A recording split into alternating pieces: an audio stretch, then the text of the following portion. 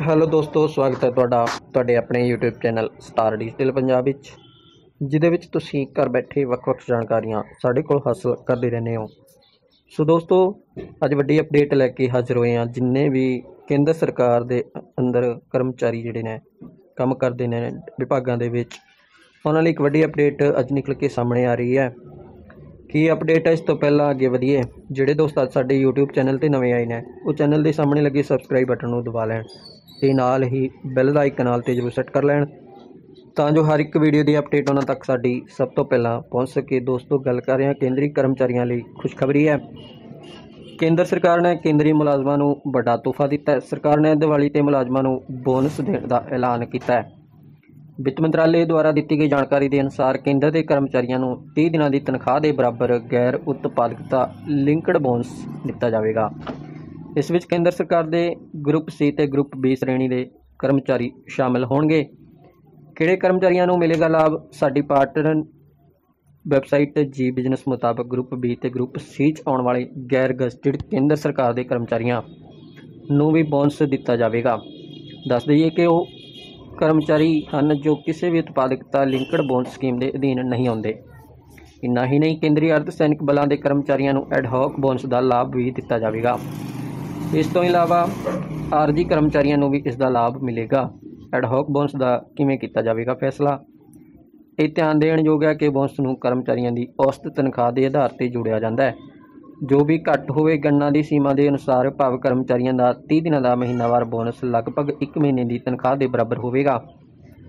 ਆਓ ਇੱਕ ਉਦਾਹਰਨ ਨਾਲ ਸਮਝੀਏ ਕਿ ਕਰਮਚਾਰੀਆਂ ਦਾ ਬੋਨਸ ਕਿਵੇਂ ਜੋੜਿਆ ਜਾਵੇਗਾ। ਜੇਕਰ ਕਿਸੇ ਕਰਮਚਾਰੀ ਨੂੰ 7000 ਰੁਪਏ ਮਹੀਨਾ ਦੇ ਮਿਲ ਰਹੇ ਹਨ, ਤਾਂ ਹਿਸਾਬ ਦੇ ਨਾਲ ਜਿਹੜਾ ਉਸ ਨੂੰ 59 6908 ਰੁਪਏ ਜਿਹੜੇ ਆ, ਉਹ ਬਣ ਜਾਣਗੇ।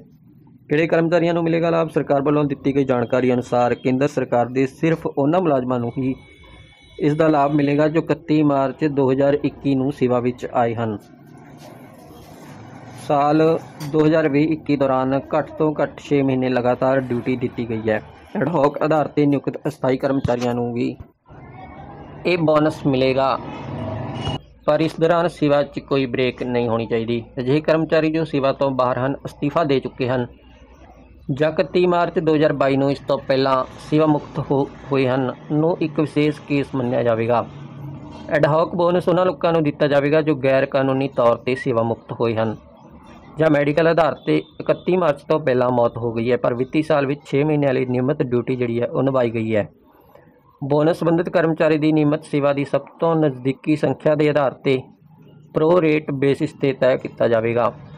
ਸੋ ਇਹ ਵੱਡੀ ਅਪਡੇਟ ਅੱਜ ਤੁਹਾਡੇ ਨਾਲ ਅਸੀਂ ਸਾਂਝੀ ਕੀਤੀ ਹੈ ਸੱਤਵੇਂ ਪੇ ਕਮਿਸ਼ਨ ਦੀ ਜੋ ਰਿਪੋਰਟ ਆਈ ਹੈ। ਉਸ ਦੇ ਅਨੁਸਾਰ ਜਿਹੜੀ ਕੇਂਦਰ ਸਰਕਾਰ ਨੇ ਵੱਡੀ ਅਪਡੇਟ ਅੱਜ ਦਿੱਤੀ ਹੈ ਕਿ ਕੇਂਦਰ ਸਰਕਾਰ ਦੇ ਮੁਲਾਜ਼ਮਾਂ ਨੂੰ ਜੋ ਹੈ ਇੱਕ ਤਨਖਾਹ ਦੇ ਬਰਾਬਰ ਦੀਵਾਲੀ ਦਾ ਬੋਨਸ ਦਿੱਤਾ ਜਾਵੇਗਾ। ਸੋ ਇਸੇ ਤਰ੍ਹਾਂ ਦੀਆਂ ਹੋਰ ਵੀ ਨਵੀਆਂ ਅਪਡੇਟਾਂ ਲੈ ਕੇ ਅਸੀਂ ਆਪਣੇ ਚੈਨਲ ਤੇ ਆਉਂਦੇ ਰਹਿੰਦੇ ਹਾਂ। ਤੇ ਸਰਕਾਰੀ ਨੌਕਰੀਆਂ ਬਾਰੇ ਜਾਣਕਾਰੀ ਵੀ ਅਸੀਂ, ਸਰਕਾਰੀ ਸਕੀਮਾਂ ਬਾਰੇ ਜਾਣਕਾਰੀ ਵੀ ਅਸੀਂ ਆਪਣੇ ਚੈਨਲ ਤੇ ਦਿੰਦੇ ਰਹਿੰਦੇ ਹਾਂ। ਤੁਸੀਂ ਕਿਸੇ ਵੀ ਸਰਕਾਰੀ ਸਕੀਮ ਬਾਰੇ ਪਤਾ ਕਰਨਾ ਹੈ ਤਾਂ ਚੈਨਲ ਦੀ ਪਲੇਲਿਸਟ ਚੈੱਕ ਕਰ ਸਕਦੇ ਹੋ।